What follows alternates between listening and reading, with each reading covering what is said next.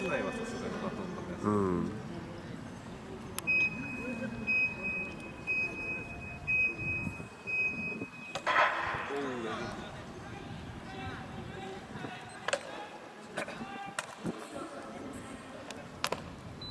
なんか重そうだね。うまそう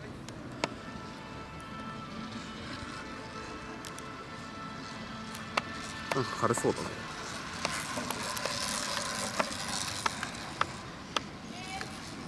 50か5115なんだって。軽いね。軽い。うん。昨日3キロそれで重そうだったから。えでも今エイシンってジュニアギアじゃないんだっけ？今ってジュニアギアじゃないんだっけもう。そうだね。え一時使ってるってこと、そうなんだ。最後